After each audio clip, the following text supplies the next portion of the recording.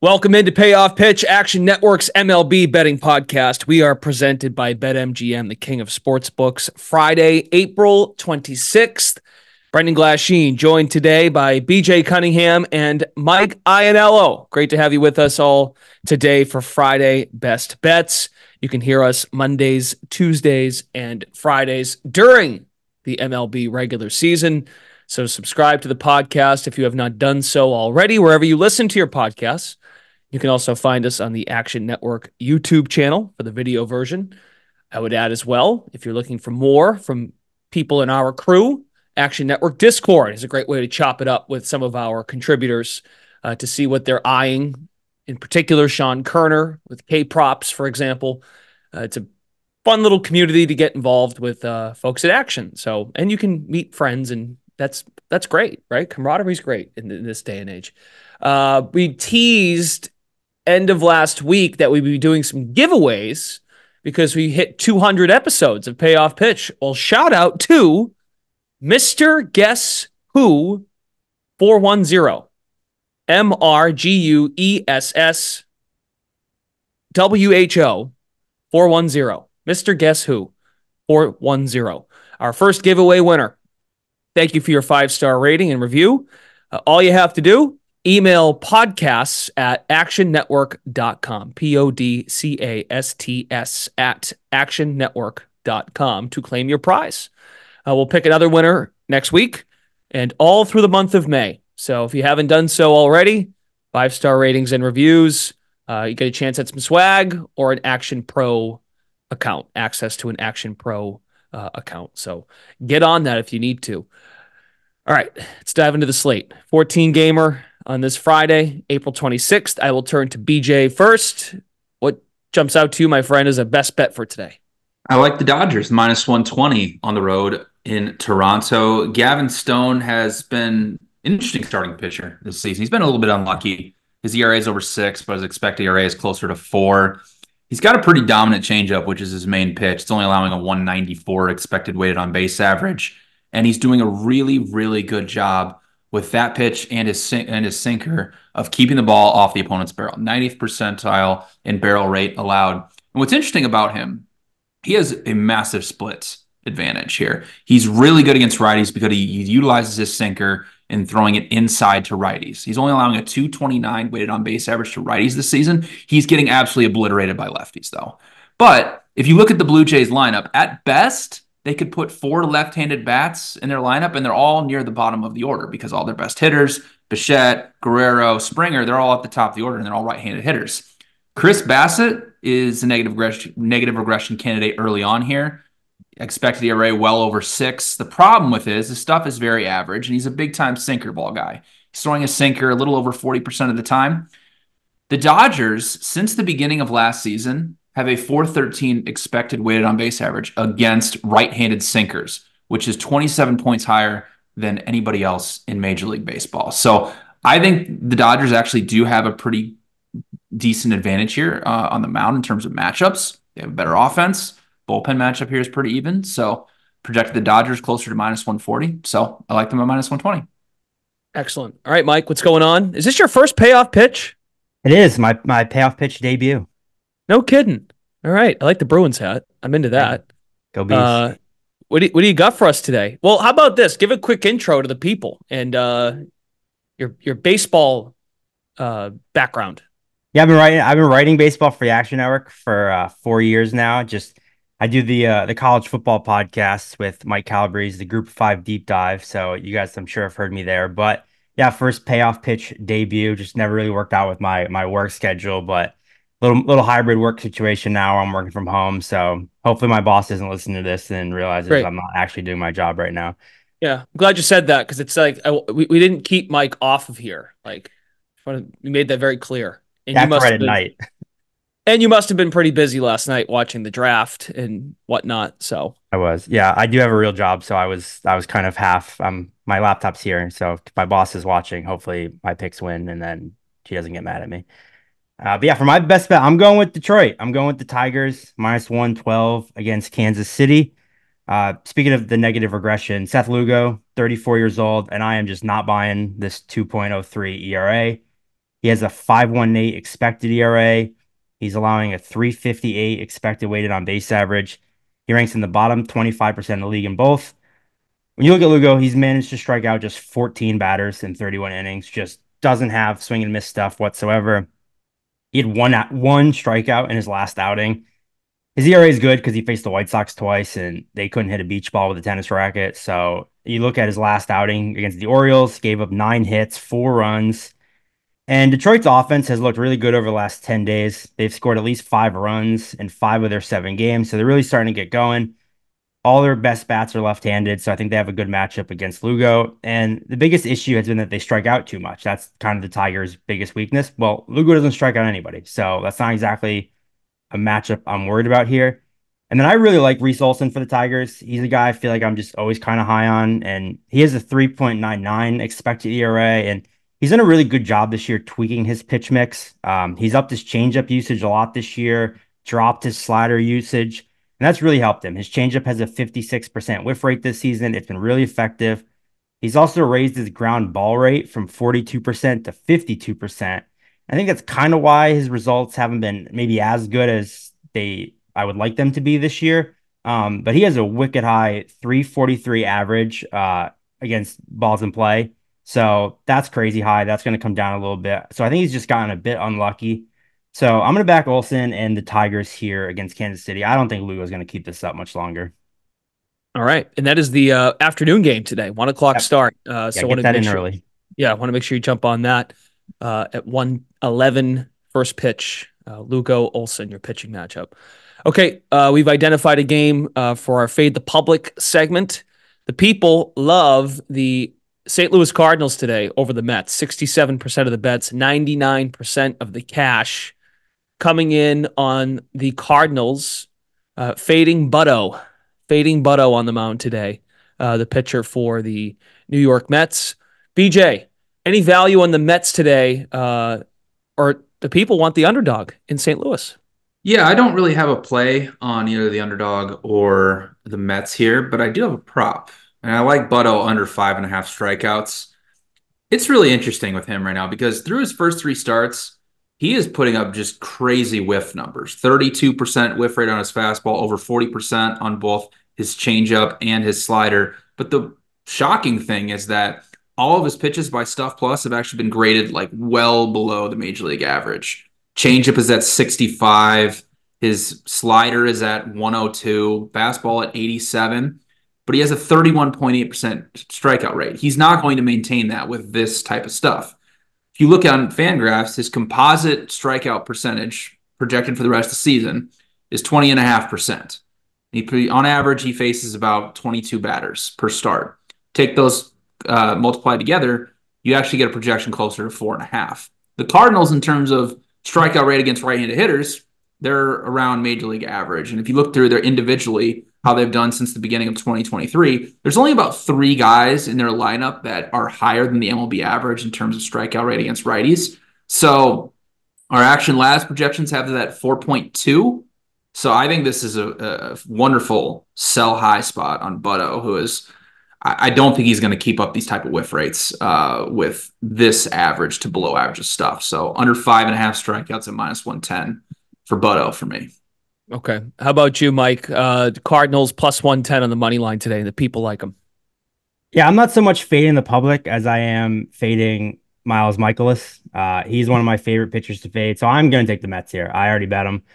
Uh, he's just not a good pitcher. He's one of my favorite to, to go against. He has a 6.49 ERA this season. Opponents have a 325 expected batting average against him. He doesn't strike out many guys. He allows a ton of hard contact. And, you know, I'm not super high on the Mets per se, but Lindor's been crushing the ball lately. He really took off. They kind of did the uh, the Trea Turner thing when they gave him the standing ovation, and he's got like five home runs since then.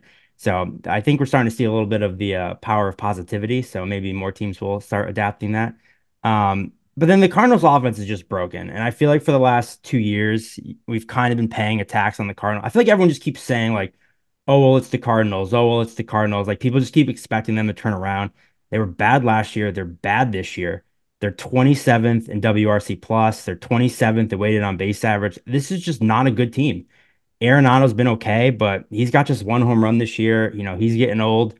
Goldschmidt's batting 200. Brendan Donovan's batting 217. Nolan Gorman's batting 198. The only player on the Cardinals with an OPS over 800 is Willson Contreras.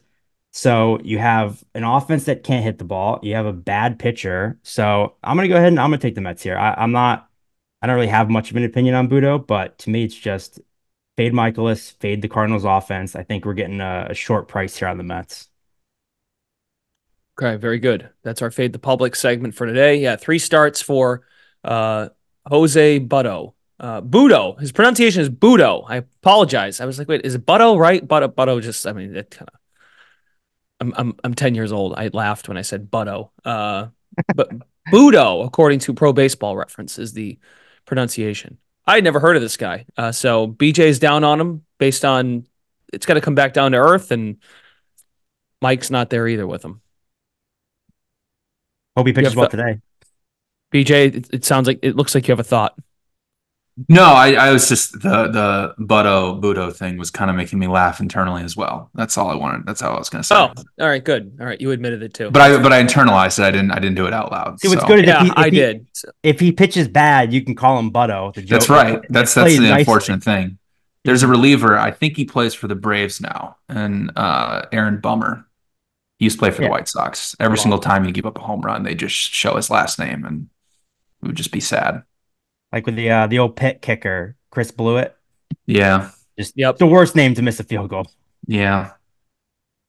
Okay, let's find uh, underdogs for today. Uh, BJ, what underdog to you has value on the slate? I like the Nationals uh, plus 150 against the Marlins. I'm not going to sit here and say that Trevor Williams is a good pitcher because he's not, but he's been doing okay this season and he's got a 309 expected ERA. And the reason for that is because he's now inducing a high number of ground balls. Ground ball rate is getting closer to 50%. When he's around there, he's successful. If you go back to his years with the Pirates, when he actually was halfway decent, like he was getting a high ground ball rate on all of his off speed pitches. He's got no velocity left. His fastball is averaging 89 miles per hour. Um, but the Marlins, have a 52% ground ball rate against right-handed pitching. For context, that's the worst in Major League Baseball, and the Dodgers have a 35% ground ball rate. So generally, good offenses get the ball in the air and don't put it on the ground. So even though even though Williams isn't really that good of a pitcher, if he's able to induce a lot of ground balls, like he can get through this Marlins lineup. There's only three hitters in the Marlins lineup that have a, a weighted runs created plus above 100 to begin the season. And Jesus Luzardo, even though he's you know a very good pitcher and he grades out pretty well by Stuff Plus, he hasn't been good this season with his command. His control is all over the place. His walk per nine rates above four. Location plus is bottom 15 among qualified starting pitchers. And now he's got a home run problem. And the reason for that home run problem is because he likes to utilize his fastball up and into right handed pitchers. 45% of the time, his fastball is up in the zone his velocity has gone down a mile per hour on his fastball on average. So if you're throwing it slower up and into righties, they're going to hit you. So far this season, he's along a 383 expected weighted on base average on that pitch. So, I mean, in talent wise, of course, Luzardo is a better pitcher. But given the matchup here, the pitcher that Williams is inducing those ground balls, I think he can get through this Marlins lineup uh, pretty easily, quite frankly. And you know, the Nationals, since the start of last season, they haven't been the worst team in baseball against lefties. They've been okay. They've been around league average. So uh, I like the Nationals here at plus 150. Uh, I think the Marlins are a little overvalued. Mike, for your underdog, you're going against BJ because I saw BJ put Philadelphia, uh, the Phillies, in the app last night on the money line. Good pitching matchup on paper um, with Musgrove going against Aaron Nola. Why do you like the Musgrove Padres side? Yeah, a few years ago, you'd look at this and think, you know, two elite starters, and that just has not been the case this year. Uh, first of all, this was a really hard underdog slate. I feel like every underdog was either like minus 102, plus 102, or like the White Sox. So I definitely had trouble pick, uh, picking it. So this isn't, you know, my most confident underdog I've ever bet. Um, Joe Musgrove's been horrible this year. He's he's got a 5.75 ERA, 6.73 expected ERA. But, you know, his entire career he's been a sub 4 ERA type of pitcher. I don't just think he sucks all of a sudden. Clearly, something's going on with him. His strikeout rate is down, his walk rate is up. I do expect both of those to kind of return to his normal numbers eventually. You saw last last outing, Musgrove went seven innings. He looked much better. He, he gave up a pair of home runs, but that was kind of it. He just made two bad pitches. And then Aaron Nola also got off to kind of a shaky start, but he's been able to smooth things out, especially over his last two starts. But when you look at who Nola's gotten to face this year, he faced the Nationals, the Cardinals, the Rockies, and the White Sox in his last four starts. So he's facing four bottom, you know, five, bottom 10 offenses. So I'm not sure I'm fully convinced Nola's back. His velocity is way down, his strikeout rate is down.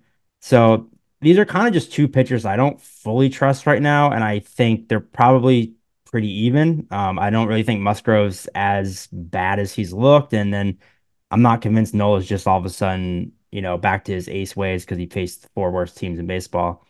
Um, also, throughout his career, Nola has always been much worse on the road. He has a 3.22 career ERA at home, a 4.21 ERA on the road. His K through nine rate is a full strikeout lower when he's on the road. So I like the fact that this game's in San Diego. And the Padres have smacked right handed pitching this season. They've scored the most runs in the league off righties. They sit fifth in weighted on base average against right handed pitchers. And honestly, the key to this whole handicap, Manny Machado is expected back in the lineup after having his first child. So we have to bake dad's strength into this line as well. I don't think the books have adjusted for that. Um, so yeah, not the best underdog slate, but I'll take the Padres as a short dog here. I think these pitchers are kind of a wash, and I'll take the home team for that. That's been hitting right-handed pitches really well. Phillies are four and one in Nola's starts this year, uh, four in a row. One loss being the Braves, his first start of the season, and Musgrove. Uh, when he's on the mound, Padres are four and two. BJ, were you BJ? Were you here last Friday? I was not. Okay, who was here last Friday? I think it was DeBundo and Tanner. This game, you guys tell me. Because I'm looking at the action uh, action uh, pro uh, section in the app, and the money's on the under. This this feels very similar to what we saw last Friday with Snell against Montgomery. Two pitchers with name recognition, totals was, was at seven and a half. Any interest in the over, in, in a contrarian over based on uh, at seven and a half? I would generally say no. I think I projected this at seven point six. the The thing is, is obviously San Diego is a very pitcher friendly park, sure. um, so that kind of plays against it as well. And you know, the reality is, is like Mike said, you know, Musgrove. I agree. I don't think he's going to be continue to be this bad as he's been. Same thing with Nola. I know he's pitched against some uh, easier competition here, but at least Nola's uh, has a pitch and is able to utilize it pretty well with his knuckle curve, even though the velocity is down and everything else. So um, generally, I, I would probably say no. And you know, of course, the, either of these guys could very easily blow up, and this could go over very easily. But also, the other end of the spectrum is is that these are two really good pitchers, and they could shut down these lineups. So, um, yeah, from a projection standpoint, I don't have much value on it. I don't think Sean projects much value on it either. So, um, it'd be a pass for me. Okay, fair enough. It seems like a game that either the pitchers pitch like their namesake and it goes under, or it goes like way over. Mm-hmm. Right. So alts. So play some alts. Yeah, it might be like four three after three innings. Zerillo does not have a pick on this game looking at the uh, looking at the app right now for Padres and Phillies.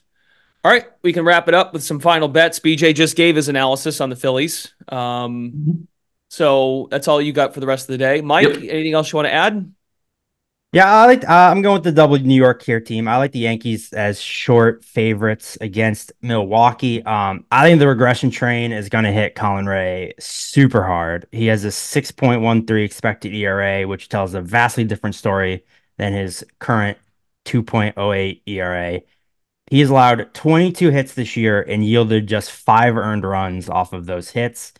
He's managed just 14 strikeouts. I think eventually those hits are going to start turning into runs and and and probably do so quickly. He doesn't miss, miss bats at all, which is a problem because opponents have a almost 40% hard hit rate against him and a 91.3 average exit velocity, which is wildly high. And then uh, Luis Gil for the Yankees, he has elite stuff. He has reworked his. He missed like the last two years with a, a really poorly timed Tommy John surgery. He's reworked his pitch mix since coming back. He's increased his changeup usage a lot, and it's really working. He hasn't allowed a single. He has, I think he's allowed one hit off of it all year. It, his changeup's been awesome. if you look at his baseball savant profile, it is it is that of an elite pitcher. Everything is red. He ranks in the top 10% of the league in expected ERA, expected batting average, strikeout rate, barrel rate, hard hit rate.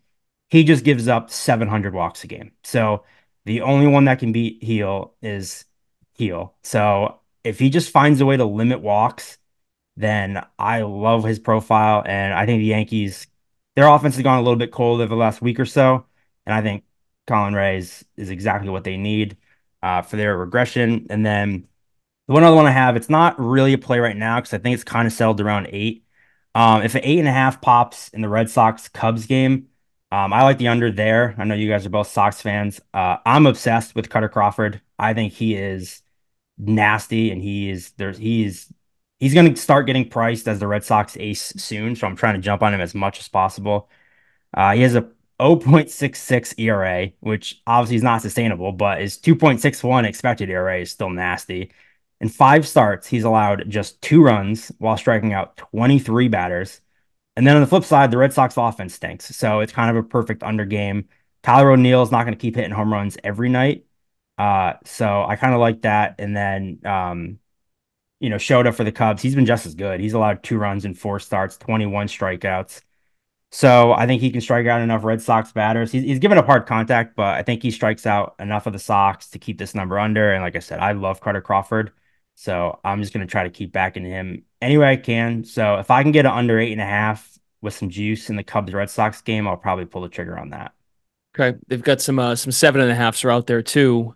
Um, Shota strikeout prop is at five and a half. Kutter Crawford's at five and a half as well. Shota at Fenway. Exciting. Cubs Red Sox. Looking forward to it. BJ, looking forward to that series this weekend? Should bring back some nostalgia. I am for sure. Yeah, you know, obviously I live in the Midwest, so there's a lot of Cub fans here. Good, a good day for for Shota to pitch because, as we know, he's a very fly ball dependent pitcher, uh. and so being in a a stadium like Fenway Park, if the wind was blowing out, he could have been in trouble. But it looks like we don't got much wind. A little, little you know, six to seven mile an hour crosswind uh, going from first base to third base. So it should be a good matchup. Yeah, Kutter Crawford's been amazing. His cutter has been incredible. Shota's given up a lot of hard contact, but the Red Sox have the fifth highest strikeout rate in the league. So I'm hoping yeah. to just mow him down and keep this game under. And it won't be, you know, this isn't Fenway in July either, right? So the ball's not. No, it's 40, 47 degrees. So not like it's, you know, the warmest day in Boston. It's, it's so because I live, you know, I live in Boston and I look out the window and I'm like, wow, it looks like it's like 80 out, but it's not. It's mm-hmm. not. We're not there yet. April yeah. be so annoying. Um, yeah, I hear you, bud we're getting there. I mean, yeah, you're in the Midwest, so mm-hmm. I get it. All right, good stuff, Mike. Thanks for jumping on, and welcome to uh, welcome to Payoff Pitch. Hopefully, we get you on here again soon. Yeah, thank you guys for having me. Hopefully, I'll uh, make a good first impression here. All right. You can find Mike Ianniello and BJ Cunningham in the free award winning Action Network app. Should they add anything else to their card, keep an eye on those guys this weekend as well. Our other baseball contributors. Once again, don't forget if you haven't done so already, leave a five star rating or review to chance to win at action some action swag uh, or a free Action Pro subscription. And as I mentioned, Action Network Discord. There is a link uh, to the Discord in the episode description if you'd like to get involved there. For BJ Cunningham, Mike Ianniello, Brendan Glasheen, thanks for tuning in to our Friday Best Bets pod in Major League Baseball, April 26th slate.